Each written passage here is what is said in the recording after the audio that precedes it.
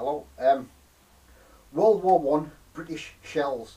Um, millions and millions and millions of British shells were fired during the First World War. Millions were unused. Um, to this day, they're found everywhere. Um, the 18 pounder British shell case is probably the most numerous shell case that you'll find at in England at uh, car boot sales, uh, thrift thrift stores, as you call them, and yard sales. You're always going to find them. As I've mentioned before, don't buy the cut down ones. They're not worth having. Always buy the full length ones because in the case of 18 pounder shells, you will find an 18 pounder shell to go in it. When you put the two together with the brass fuse that you buy on eBay, you have a really nice display item. Um, this is a typical put together. It's what it is, it's just a car boot bought 1917 dated case and then eventually you get a relic head and then eventually you get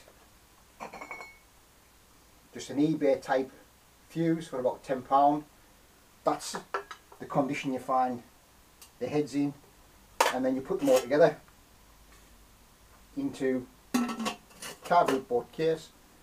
You put the head on one screw it down and you get a nice display item.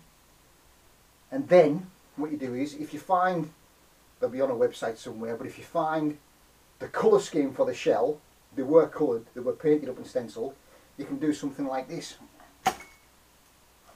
Again similar sort of thing but this one has been painted up for display as it would have been originally in different shells depending on the contents were painted up in different ways this one says the contents is trotyl and it's dated 19th to the 4th 1917 it's just a new stencil job. Again brass case brass fuse 18 pounder World War One. Um, what you don't find is these. This is an original World War One British wicker transit basket which would either go on the side of a mule, the side of a horse, and it's for transporting three shells, cases. Just the cases, nothing else. It's got it's got a sealed base, so you can't get the shell casing with the shell. It just takes the cases. And in, in this instance, there's three French cases in the 75 mil, but it, but it is a British one really nice condition. This came from France quite a long year, a few years ago.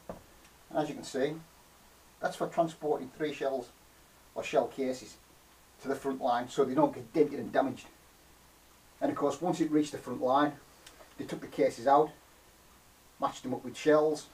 That was disposable, just threw it away. And of course with it being made of wood, it just rotted or they burnt them for firewood.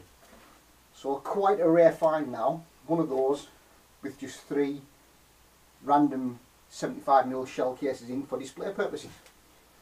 So that's the sort of thing you can find. Um, but yeah, always you will find 18 pounder shell cases, no problem at all. Sometimes they have elaborate, elaborate designs carved into them. Um, but yeah, really cheap to buy. Very impressive display item. Um, and one thing, when you display shell cases, unless you have a hard floor to put them on, if you have, most houses have a carpet, it's best to get a piece of wood, put the piece of wood down and put the cases on the piece of wood because what I've found is when you put them directly on the carpet, the weight of the item, eventually the sink slightly into the carpet, they overbalance, one hits one, hits one, hits one, hits one, and they all fall over. If you have them on a piece of wood, the weight distributes across the wood, the wood doesn't move into the carpet, so they don't overbalance. So if you if you have big shell cases, put them on a piece of wood. Um, so that's my British 18 pound shell cases. Um, so we'll see what else we can do. Bye.